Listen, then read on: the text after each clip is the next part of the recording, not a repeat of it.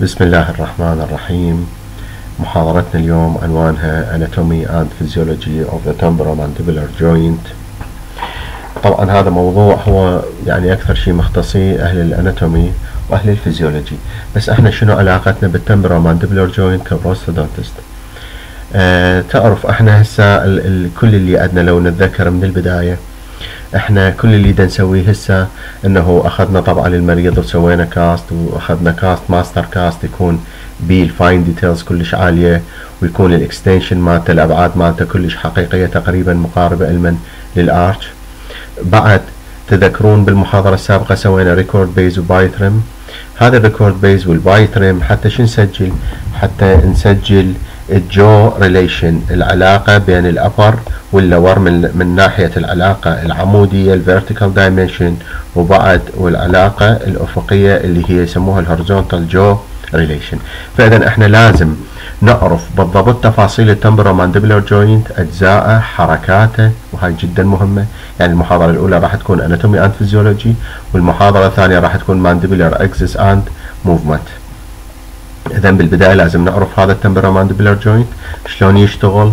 حتى بالنهاية راح نستفاد من هذا الموضوع بحاجتين. الحاجة الأولى إنه شلون نسجل بصورة صحيحة ال vertical وال horizontal jaw relation بعد شلون نصمم جهاز اسمه ال articulator أكو جهاز إن شاء الله راح إحنا من سجلنا ال jaw relation record لازم ننقلها إلى جهاز يشابه هذه الحركة ينطينا حركات مشابهة لحركات ال mandible. فإحنا لازم نعرف حركات ال mandible حتى نختار الجهاز اللي يشابهها هسه راح محاضرة مثل مثل ما تعلمنا المحاضرة راح تكون وياي وتتبعون وياي وراح أقرأ ونشرح إن شاء الله. Temporomandibular joint أو ال abbreviation مالته يسموه TMJ it is the articulation إذا هو تمفصل of the condyle of the mandible and interarticular disc. إذا من متكون؟ متكون تعرف إحنا دائما نعرف أنه ال joint المفصل يتكون من فريقين. الفريق الأول اللي هو منه راح يكون ال condyle of mandible هذه ال condyle of mandible وال interarticular disc هذه اللي هي هذه معبرين عنها بهذه الربلة. ال interarticular disc اذا فريقين الفريق الأول هو ال condyle of mandible ما أدري ممكن الصورة إذا تطلع واضحة أو لا بس هذا اللي قدرنا نسويه. هذا ال condyle of mandible ويا ال interarticular disc راح يكون ذولا فريق أول. ضد من الفريق الثاني هو ال glenoid fossa ال glenoid fossa هي الحفرة اللي موجودة وين؟ بال temporal bone. The joint has a capsule and articulating disc.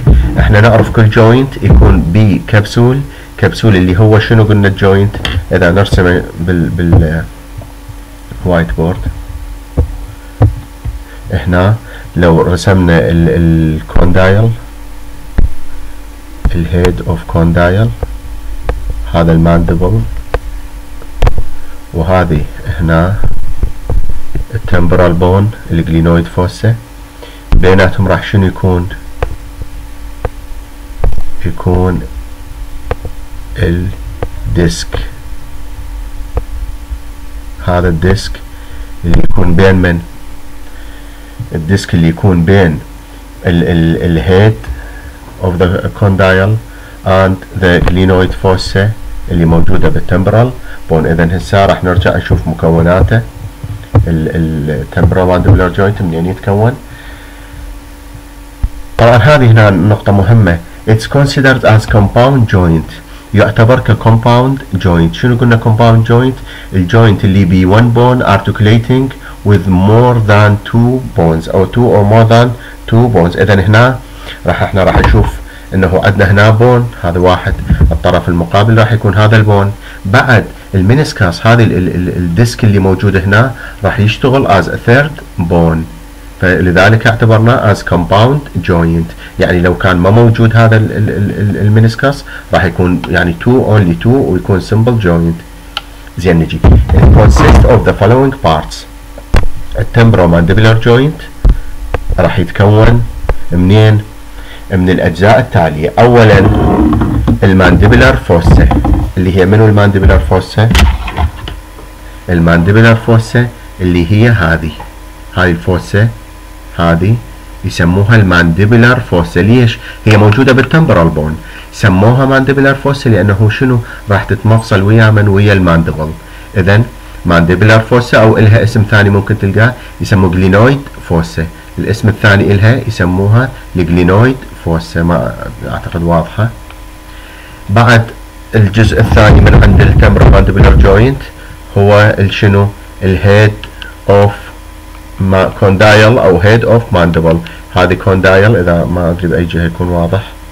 زين هذه هذه head وهذه head أو ال condyle of mandible بعد ال disk اللي يكون بين ال mandible وبين ال glenoid fossa بين ال condyle وال glenoid fossa هذه ال meniscus أو ال disk بعد ال synovial cavity ال synovial cavity هسه نرجع على ال white board هذه هنا.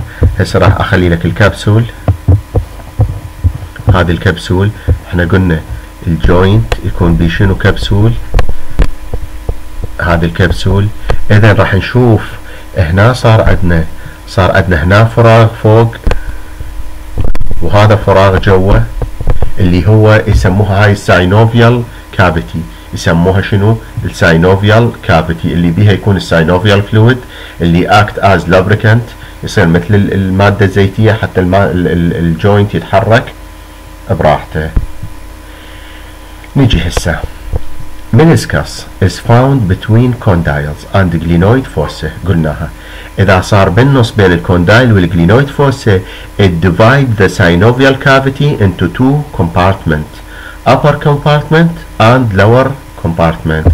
شوف هسه هنا إذا نرجع ال white board هنا لو ما موجود هذا يعني هسه لو نمسحه راح نشوف. ال synovial cavity واحد. لكن بوجود هذا ال disk من ان وجد ال disk بين ال head of condyle وبين ال glenoid fossa يسوى قسم لي ال compartment هذا ال synovial cavity قسمه إلى two compartment upper أو superior and inferior compartment. During function, each compartment act as a separate joint ولذلك سميناه compound joint يعني هنا من يتحرك ال mandible أعتقد هنا الصورة ممكن تكون بها نوع من الوضوح هذه ال head of condyle وهذه ال glenoid fossa وبيناتهم هذا السمائي الصورة يمكن يمك كذا بالملزمة أوضح هذا السمائي هو ال meniscus disk هذا الشريط الفراغ الأسود اللي جواه هو ال lower وهذا الفوقه هو ال upper compartment من يتحرك ال mandible؟ طبعا ال mandible من يتحرك تتخيل إنه حركته راح تكون simple هيك بس كأنه يعني فد ball and socket لا شوية بها تعقيدات إن شاء الله راح نمر عليها. بس أريدك تفتهم هسه بالبداية during function each compartment act as a separate joint. يعني شنو each compartment act as separate joint يعني مريض من يفتح حلقه ويسده قد تكون الحركة فقط بالجزء الأسفل أو قد تكون الحركة الحركة فقط بالجزء العلوي أو قد تكون الحركة شنو؟ بالجزئين. إذا وكأنه نشوف أكو استقلالية لكل compartment عن ال ال ال ال الثاني. معناها كأنه كل واحد يشتغل as a joint. Presence of the meniscus also distinguish the TMJ from other joints in the body. من أقول لك شنو فرق ال temporomandibular joint عن other joints in the body تقول لي وجود ال meniscus راح أقول لك وإذا شنو هاي؟ راح تسوي وجود ال meniscus تقول لي ال meniscus شوف هنا. لو ما موجوده شوف هسه هنا من راح يصير. هذه هنا. هنا إذا الصورة واضحة. راح إذا ما موجوده ال meniscus هنا راح يصير bone to bone joint راح يصير condyle اللي هي bone ويا ال glenoid fossa اللي هو شنو؟ bone. إذا bone to bone. لكن وجود ال meniscus إذا صار الاتصال مو bone to bone bone to tissue and tissue to bone. صار واضح؟ bone to tissue اللي هي ال meniscus اللي هو ال mandible disk and tissue to اللي هو ال disk to skull. bone to tissue mandible bone to the tissue اللي هي ال meniscus tissue هذا المفصل الأول أو ال compartment الأول. ال compartment الثاني اللي هو tissue to bone ال tissue to bone هو منو؟ اللي هو ال meniscus to the temporal bone to the glenoid fossa of the temporal bone زين. هسه راح يجينا موضوع موضوع ال muscle control mandibular movement أنت هسه حضرتك من تقعد أو هذا الأخ هنا خلينا نخليه يفتح حلقة ويسدها. عندنا opening muscle اللي هي شنو؟ تحاول تفتح ال mandible. وإذا كان ال mandible مفتوح ونحاول نسده يسموها ال closing muscle بعد gliding muscle gliding muscle هسه تجرب أنت هسه على المحاضرة قاعد. جرب إنهم تفتح حلقك وتسده. راح يصير opening و closing قدم ال mandible مالتك باتجاه الأمام أو حركها باتجاه اليمين أو اليسار. هذه الحركة لا هي opening ولا هي closing هي يسموها gliding movement gliding movement يعني ال mandible يقوم يتحرك بالاتجاه الافقي تقريبا. زين نجي. ال closing muscle هذه الصورة يمك بالملزمة. ال closing muscle شوف. هذه ال closing muscle هي ال muscle اللي تحاول تغلق شنو؟ ال mandible هي ال muscle اللي تحاول تغلق ال mandible. اذا إذا هي تحاول تغلق ال mandible لازم يكون لها طرفين. وين يكون طرف بيها؟ طرف مشلب بال skull. والطرف الثاني وين يشلب؟ بال mandible. حتى من يصير contraction تغلق ال mandible تغلق العفو ال mouth. صار واضح؟ ال muscle منو؟ temporalis muscle من اسمها temporalis muscle ال temporalis muscle وين موجود ال origin مالتها؟ موجود بال temporal bone اذا ال temporalis muscle وين موجودة؟ موجودة بال temporal bone هذا ال origin مالتها. بعدين تدخل من فتحة خلف ال zygoma. خلف ال zygoma. وين تتصل؟ تتصل بال coronoid شوف هاي البروز مالت ال mandible. هذا ال condyle وهذا شنو؟ ال إيه أبعد شوي. إيه. هذه ال condyle وهذا العفو هذا ال condyle وهذا ال coronoid process ال coronoid process اذا تجي ال temporalis muscle تدخل منه تشلب وين تشلب بال coronoid process ومن يصير بها contraction راح تسحب ال mandible باتجاه الأعلى. بعد عندنا من ال muscle اللي تسوي لنا closing هي ال masseter muscle ال masseter muscle هاي هسه اذا ال angle of mandible تلزمها أنت هسه أو أنت وقاعد يمي هسه على قاعدتك هذه. حاول انت وطابق سنونك اطبقهن حيل راح تتقلص عندك هذه العضلة هنا. زين. تتقلص هذه دائما نشوفها عند الأجريسيف عند ذول الناس العصبيين دائما من يصير عصبي يقوم يعض على سنونه. هذه المنطقة هذه هنا تصير بها شنو؟ تقلص. تتقلص تبين. تقوم تتقلص وترتخي. فأنت هسه تقدر تلزمها بيدك وتحاول تقلص سنونك راح تشوفها تتحرك. هذه يسموها ال masseter muscle ال origin مالتها وين؟ من ال zygoma منا وتنزل وين تنزل؟ اللي يصير ال insertion مالتها بال angle of mandible ومن تتقلص هذه إيش راح تسوي؟ راح ترفع لي ال mandible. اذا قلنا شوف كل ال muscles اللي تحاول closing يكون جزء من عندها بالسكال والجزء الثاني الاوريجن بالسكال والإنسيرشن مالتها وين؟ بال mandible. وال muscle الثالثة ال medial pterygoid إحنا قلنا من برا شنو أكو؟ من برا. أكو ال masseter muscle اذا من الداخل شنو أكو؟ اكو medial pterygoid معناه هنا two muscle هاي هنا two muscle اذا ممكن الصورة ما اعرف شلون اطلعها muscle من الخارج هي ال masseter اللي هي من ال zygoma تكون لل angle of mandible وبعد muscle من الداخل medial pterygoid اللي هي تطلع منين تطلع من ال medial ال medial surface مالت ال lateral pterygoid plate تطلع من هذا المكان وتنزل. وين يصير هذا ال origin مالتها؟ وين يصير ال insertion؟ ال insertion يصير بالضبط منا هذا الصور بالضبط منا ال masseter من ال lateral من ال medial. هي شنو تصير؟ ال medial pterygoid muscle اذا هذه ال muscle كلها تحاول شنو؟ تتقلص وترفع ال mandible تسوينا closing تتقلص وتسوي لنا closing واحدة من الخارج وواحده من الداخل ال medial pterygoid اللي هي تطلع من ال medial aspect of the lateral pterygoid plate of the sphenoid bone زين. ال elevating and closing لما ندخل أنا الصور هنا خليت لك إياها إن شاء الله تكون واضحة. وويا هذه الصورة مال الاخ هنا ممكن توصل لك الفكرة. زين ال opening muscle منو؟ اذا بالضبط اذا قلنا اذا ال closing muscle هي ال muscles اللي وين تكون متشلبة بال skull وجزءها شنو؟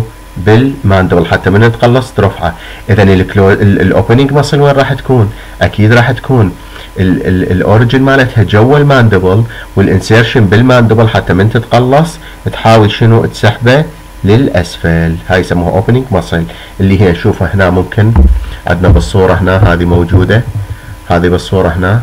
اللي هي suprahyoid و infrahyoid and platysma muscle ال suprahyoid إذا تذكرون منو من ال suprahyoid مرت علينا؟ ها لا العفو الثالث.